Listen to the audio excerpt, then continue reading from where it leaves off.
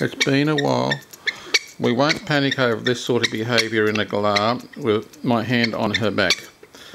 It looks rather drastic until you realise that this little birdie is extremely clucky and she thinks my hand is um, more than a mate.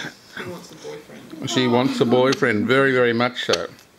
And this is like her having a little climax, I suppose, um, a moment. But anyway, we'll film it for the camera.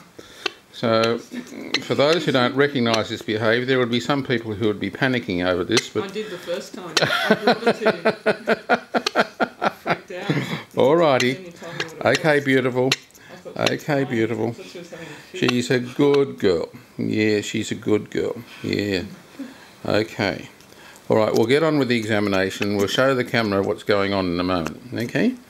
We'll show the camera. We have to show the camera your private parts. I'm sorry, but it's not them that are affected. It's just nearby. Okay. Oh, you got an S box now. Isn't that good? Yeah, yeah, that feels good. She likes boxes. Oh, I left the record.